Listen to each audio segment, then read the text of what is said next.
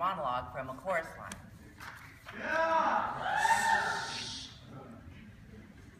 We were working the Apollo Theater on 125th Street. The show was going to go to Chicago. My parents wanted to say goodbye, and they were going to bring my luggage to the theater after the show. Well, we were doing this oriental number, and I looked like Anna May Wong.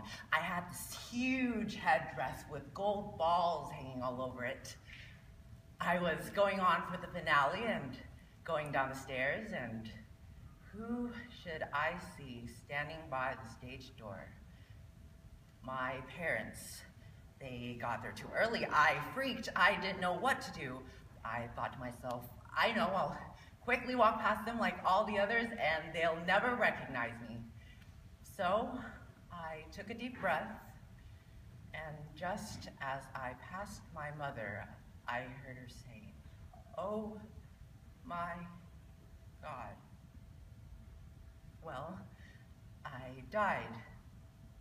But what could I do? I had to go on for the finale.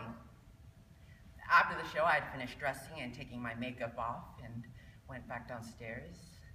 And there they were, standing in the middle of all of these. All they said to me was, please write, make sure you eat and take care of yourself. And just before my parents left, my father turned to the producer and said, take care of my son. Well, that was the first time he ever called me that. I, I, thank you.